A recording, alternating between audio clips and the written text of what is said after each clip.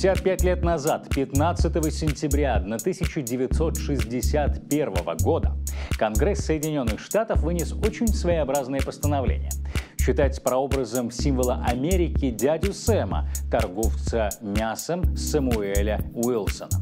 А началась история с этим дядей в 1812 году.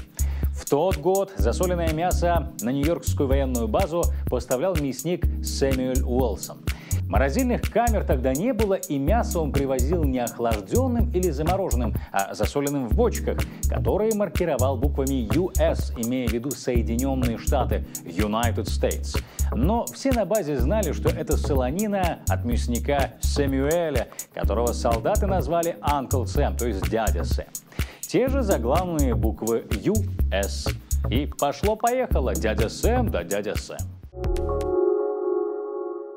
Шутка вылетела с базы и постепенно распространилась по всей Америке, а затем и по всему миру, что буквы US означают «дядя Сэм». Шутку подхватили художники, и со временем закрепился персонифицированный образ Америки. Типичный дядя Сэм, высокий, поджарый, энергичный пожилой человек с бородкой в цилиндре, синим фраке и полосатых, как американский флаг, панталонах. Первый рисунок дяди Сэма появляется в 1852 году на страницах одной из нью-йоркских газет. По крайней мере, более раннее изображение пока не найдено.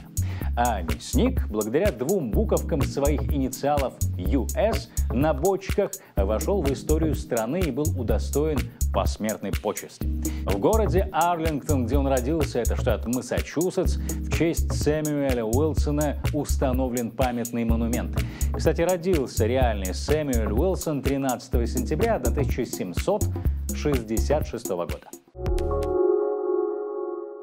Что-то похожее произошло и со знаменитым «Оскаром».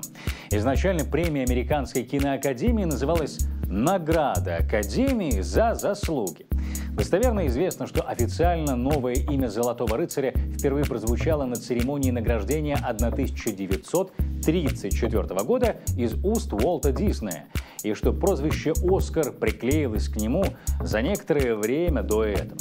А вот кому первому пришло в голову окрестить статуэтку «Оскаром», сегодня с уверенностью не может сказать никто. Претендентов на роль крестных родителей наберется не один десяток.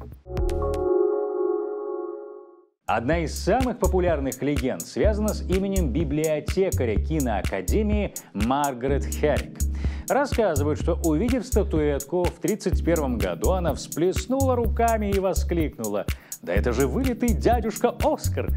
При этой сцене присутствовал журналист Сидни Скользкий, который тут же написал в своей колонке, что сотрудники киноакадемии любовно называют своего «золотого рыцаря» Оскаром.